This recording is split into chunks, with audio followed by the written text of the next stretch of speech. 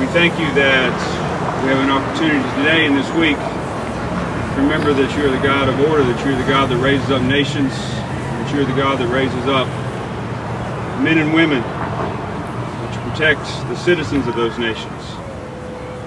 In this week of Police Week all across the country and in this city, we, we pause to remember those, those who have fallen, those who have served their cities, their municipalities, seek to preserve justice, to seek to preserve order. We pray that you would comfort the families, the colleagues, the friends those who have fallen.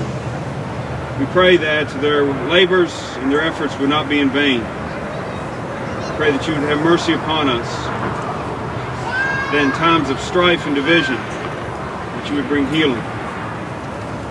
We thank you for the men and women who serve so faithfully. We pray for their families, that you would strengthen them, that you would encourage them. We pray that you would return their loved ones to them each day and each night safely. Thank you for this opportunity to remember the faithful, tireless work of these servants. We pray all these things in the name of the Lord Jesus. Amen.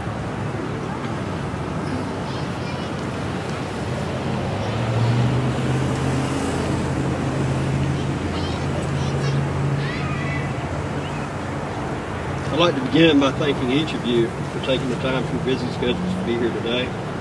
We are gathered here today on National Police Officers Memorial Day to remember and celebrate the lives and the contributions of the men and women who have lost their lives in the line of duty.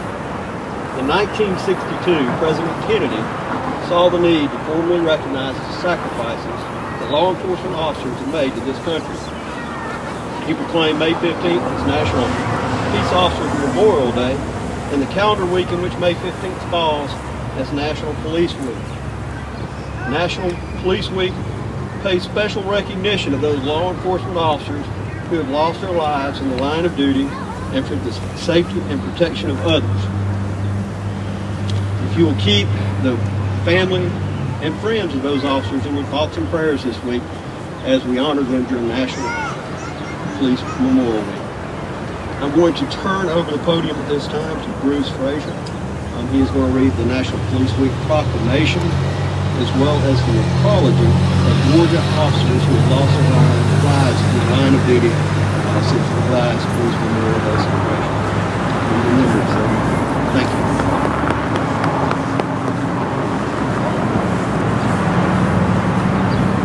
This is a proclamation from uh, Dalton Mayor Dennis Mock. Whereas the President of the United States has designated May 15th as Peace Officers Memorial Day and the week in which May 15th falls as National Police Week, and whereas the members of the law enforcement agency of Dalton play an essential role in safeguarding the rights and freedoms of our community, unceasingly providing a vital public service, and whereas it is important that all citizens know and understand the duties, responsibilities, hazards, and sacrifices of their law enforcement agency, and that members of our law enforcement agency recognize their duty to serve the people by safeguarding life and property and by protecting the innocent against deception and the weak against oppression. Now, therefore, be it resolved, I, Dennis Mock, Mayor of the City of Dalton, Georgia, hereby call upon all citizens of our community and upon all patriotic, civic, and educational organizations to observe the week of May 14th through 20th, 2017 as Police Week and to join in commemorating law enforcement officers past and present who, by their faithful and loyal devotion to their responsibilities, have rendered a dedicated service to their communities and in so doing have established for themselves an enduring reputation for preserving the rights and security of all citizens. And it is signed by Mayor Dennis Mock with today's date. The Spartan Oath of the Shield first appeared in Richard Lee's book Gates of Fire. It refers to an actual shield used by the Spartans in ancient wars, but it is also reflective of a modern police officer's attitude towards his or her own oath of service and his or her own shield, the badge. It reads, This is my shield. I bear it before me in battle, but it is not my own. It protects my brother on my left. It protects my city.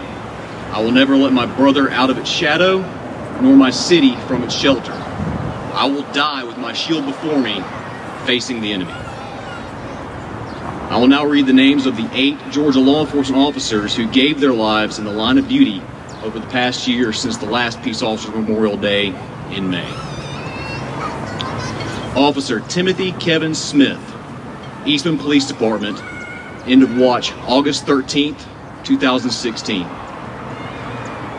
Sergeant Patrick Michael Sondron, Peach County Sheriff's Office, end of watch November 6th, 2016.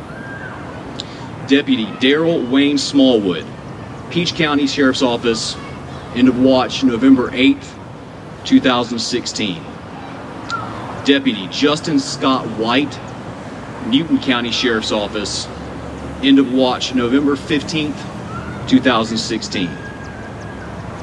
Officer Nicholas Ryan Smarr, Americus Police Department, end of watch December 7th, 2016.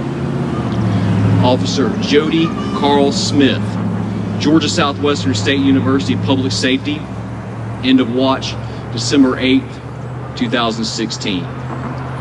Sergeant Gregory, Gregory Michael Meagher, Richmond County Sheriff's Office, end of watch February 5th, 2017. And Deputy Michael Butler, Lowndes County Sheriff's Office, end of watch February 25th, 2017. Can we have a moment of silence in their honor?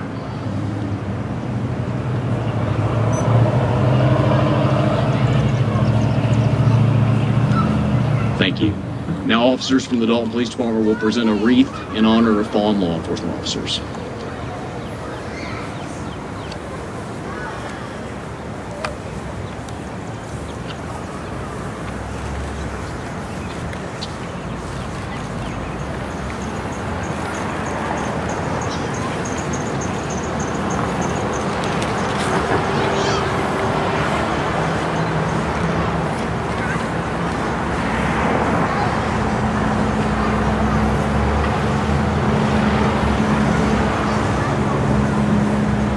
Receive the benediction.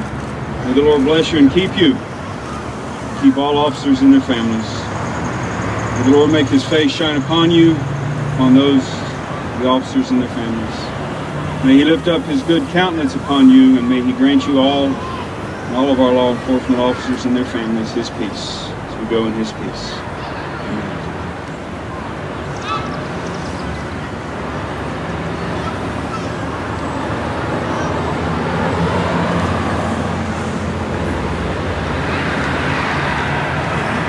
This concludes our celebration for this week. Thank you for coming out. Have a good rest of the day.